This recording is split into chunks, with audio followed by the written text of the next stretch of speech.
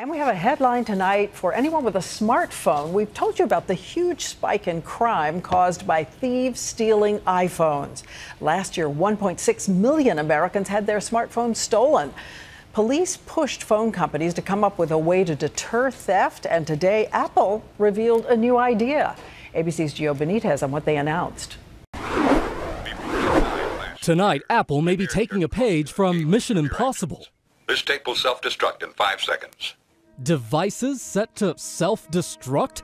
Perhaps not physically, but at the company's big unveiling this afternoon, a solution that law enforcement has been begging for a so called kill switch that could turn a stolen iPhone into a useless box. It could be the strongest weapon yet to combat the recent wave of iPhone thefts.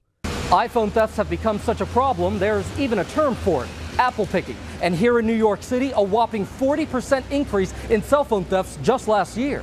Just take a look at this dramatic surveillance video from a New York subway in March. Police say this man turned to violence just to steal a cell phone. And this woman so knocked over and no punched for her phone, speaking with our Linsey Davis. The guy just snatched the phone out of my hand um, and kept running.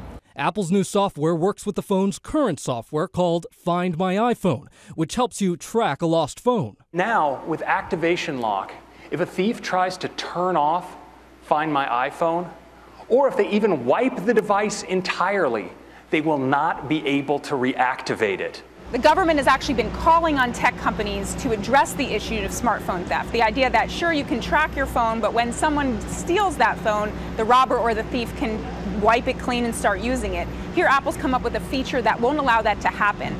Now, all eyes are on other phone makers to see if they'll follow Apple's lead. Gio Benitez, ABC News, New York.